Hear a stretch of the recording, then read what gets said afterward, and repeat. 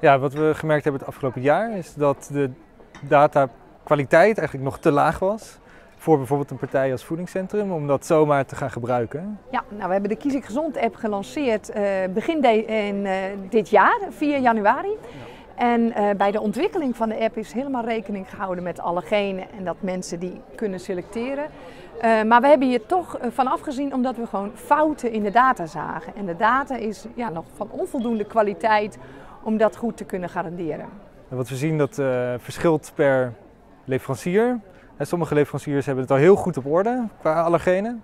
Maar bij andere leveranciers zien we soms dat uh, eigenlijk ook simpele fouten worden gemaakt. Wat we merken is dat er fouten sluipen in het proces. Tussen de, men weet welke allergenen er in het product zitten, komt op het etiket.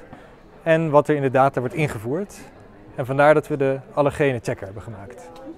Nou, mijn suggestie aan de voedingsmiddelenindustrie uh, om die data beter te krijgen, dat zou uh, een uh, prikkel zijn om te kijken naar de kringloopwijzer. Dat is een andere sector in de samenleving. In de agrarische sector, zij gebruiken datatransport ehm, voor gegevens.